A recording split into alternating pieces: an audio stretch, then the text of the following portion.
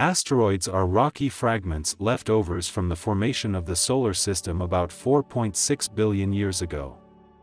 According to NASA's JPL, an asteroid is classified as a near-Earth object and its distance from our planet is less than 1.3 times the distance from Earth to the Sun. NASA tracks over 28,000 near-Earth asteroids and over 2,300 of these are considered potentially hazardous.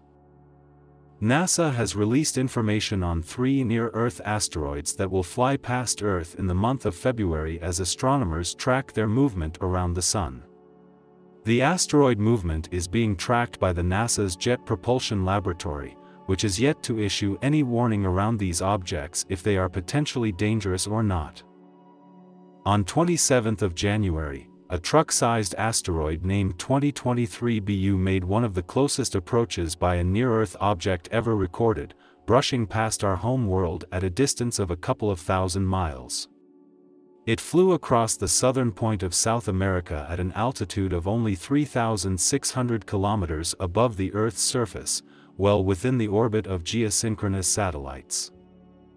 According to NASA's Center for Near-Earth Object Studies, the first asteroid 2023 BC4 will be spotted on 06 February.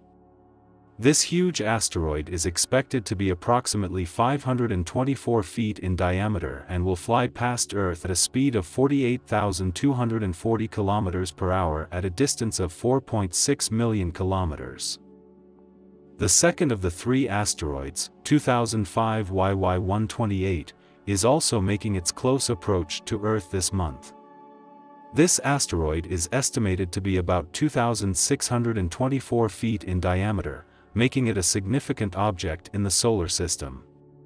It will fly past Earth on February 16 at a speed of 88,848 km per hour at a distance of 4.5 million kilometers.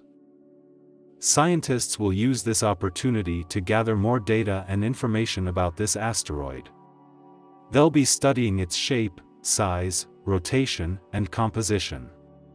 This information will help us better understand the origins and evolution of these celestial bodies. The third biggest asteroids to approach Earth this month is 1993 VB.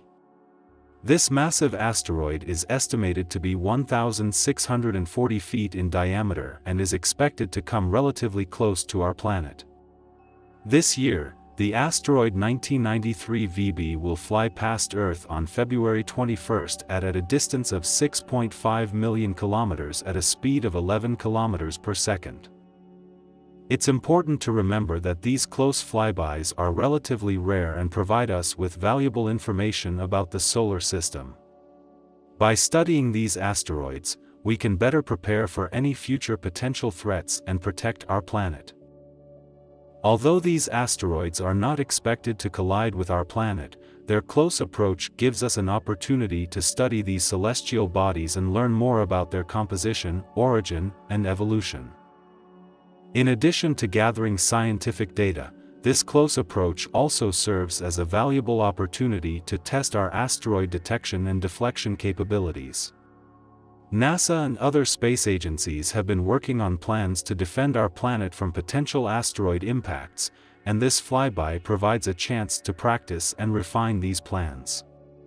So, be sure to keep an eye out for updates on asteroids as they continue their journey past Earth. And don't forget to like, share, and subscribe for more space-related content.